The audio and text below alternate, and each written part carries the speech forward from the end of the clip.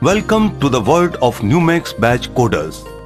General operating method for Numex contact type batch coders using Nylo letters and Numex indelible fast drying ink.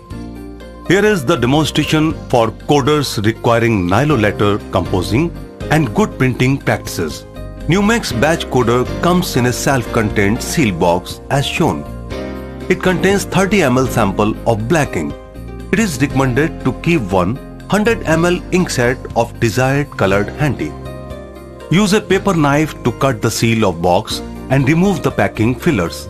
Remove the coder and peel off its polythene wrapper.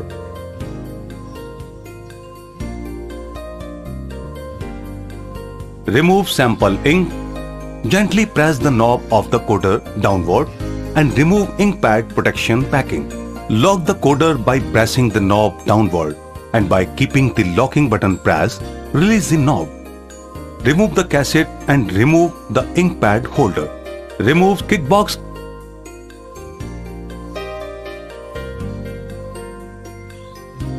Kickbox contains Nylo letter set, operating manual, forceps, scissor, Fevibond, extra ink pad and square cushion. Some letters may not be there as they have been used in the pre-composed coder.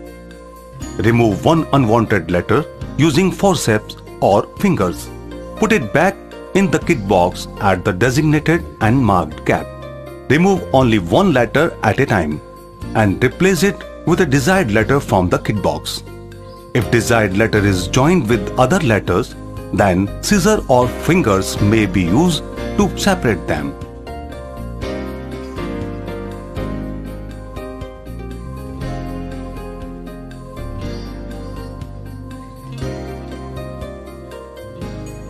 Letter can be pasted on cassette gap by using Fevibond.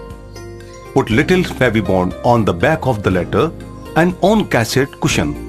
Let the adhesive dry a little and then paste the letter on cassette.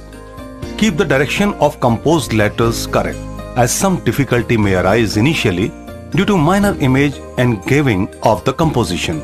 After all desired letters have been pasted, press the composed matter with thumb this will enable securing latter faces to same level.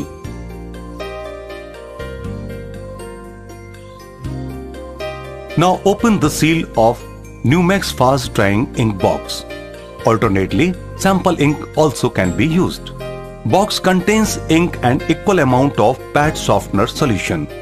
In no case, these should be mixed as it will reduce the sharpness and clarity of prints.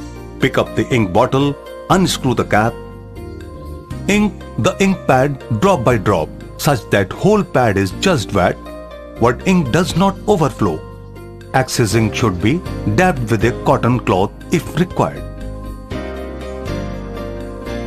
Recap the ink bottle as ink is volatile. Put back the cassette to coder. It will lock to its receptacle with a click replace the ink pad holder back to its position of the coder.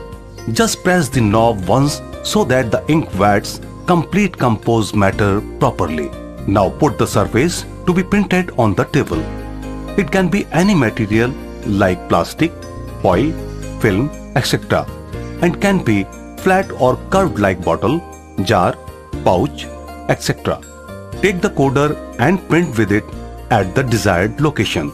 After finishing the work, replace the coder box and ink box as before. It will enable locating anything during next use.